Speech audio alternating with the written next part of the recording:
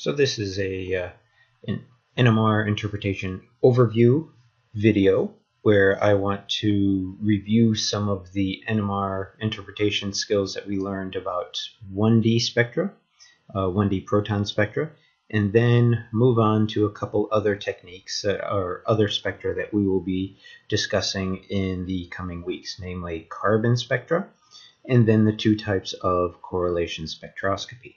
Again, I will use ethyl crotonate as an example. I've updated my molecule viewer a little bit with some uh, some additional features. First and foremost, we do have double bonds finally, so we see the uh, uh, the ester as well as the uh, the ethylene group or the uh, uh, the double bond group there and there. And I've also added some labels. I want to highlight how I labeled these. If we take a look at one end, I call this carbon A, and then the hydrogens that are attached to carbon A are HA1, HA2, HA3, and then we continued on carbon B, carbon C, D, E, F, with the hydrogens labeled as appropriately. Just for completeness, I did label the oxygens, however, we won't be uh, seeing oxygens directly in the, uh, in the NMR spectrum. We have the 1D spectrum, of proton spectrum of ethyl crotonate. Just to review, we have one, two, three, four, five different types of uh, chemically equivalent hydrogens. And they correspond to one, two, three, four, five different sets of, uh, of features in the NMR spectrum. The integrals again gave us the relative heights or the relative number of uh, hydrogens in each one of the groups. On the right hand side, we have two features that integrate for three, roughly three units each. Those correspond to our hydrogens on the methyl groups. We can differentiate between the two based on the splitting. The triplet is, arises from the ethyl group because there are there are two nearest neighbors using the n plus 1 rule. That gives us a, a triplet. Whereas the feature at around 1.84 is a doublet or a doublet of doublets due to uh, coupling to the He and Hd protons. The downfield part of the spectrum, we've got two features that integrate to roughly one proton each, corresponding to the E and the D protons. We can differentiate between these two by paying close attention to the coupling constants, and we were able to show that the uh, uh, that the feature at 6.9 is due to HE, and then the feature at uh, at 5.8 is due to HD.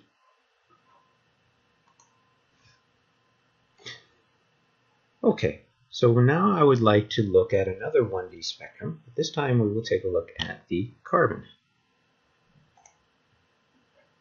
Now, because carbon uh, spectra are uh, obtained on the carbon 13, which is very uh, is in very low abundance, there are special techniques that need to be run called uh, um, uh, this is run under a decoupling uh, program.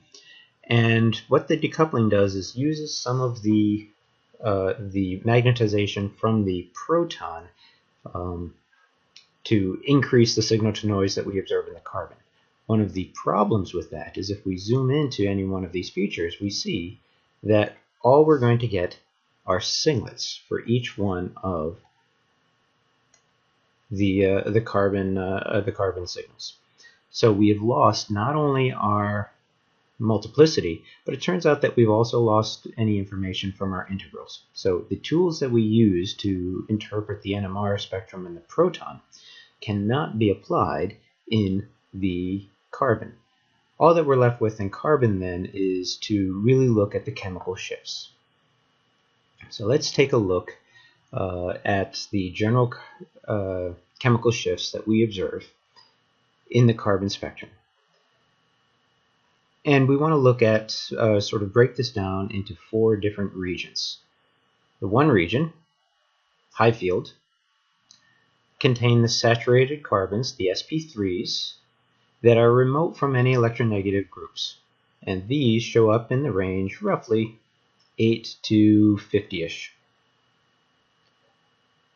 When you add a, uh, an electronegative atom, such as oxygen, chlorine, or bromine, it shifts downfield a little bit, and we get uh, features in the range of around 45 to 80.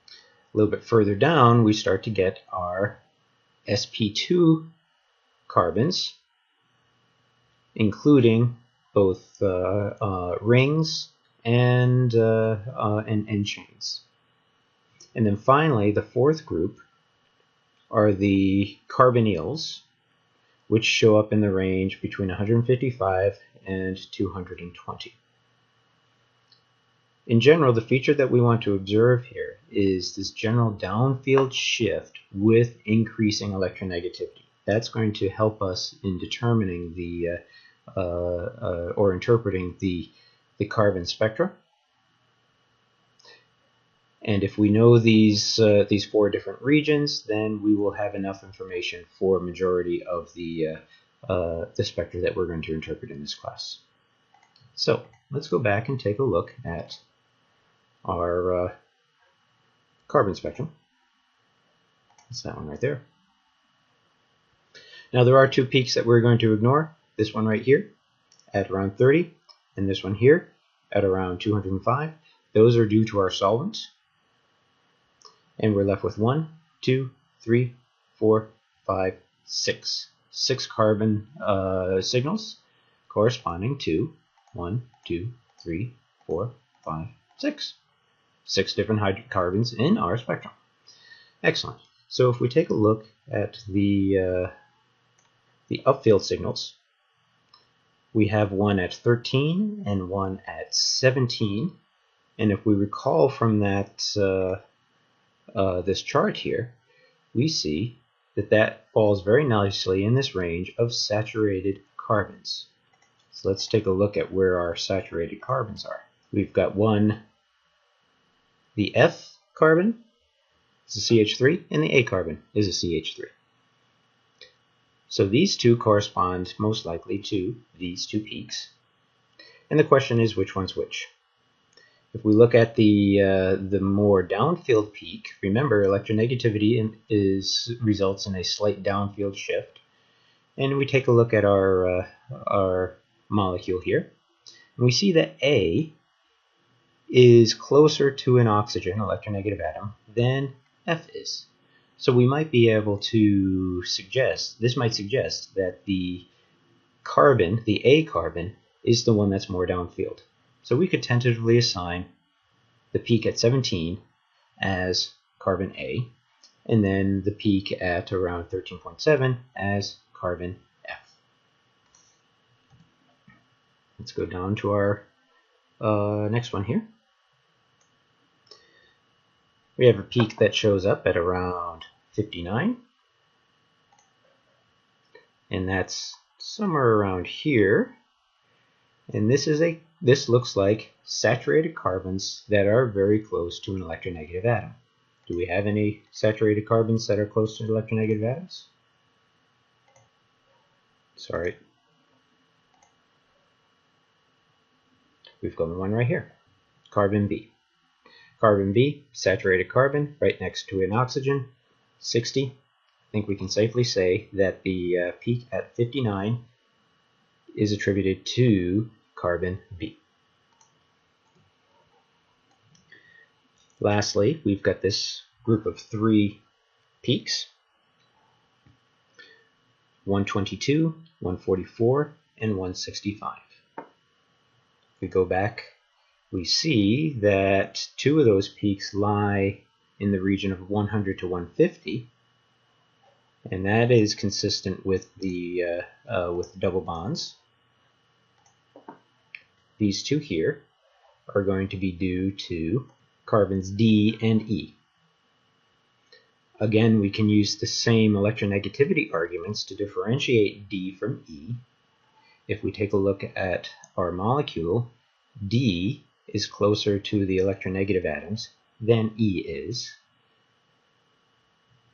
So we can uh, we can suggest that suggests that the peak at 144 is carbon D, and the peak at 122 is carbon E.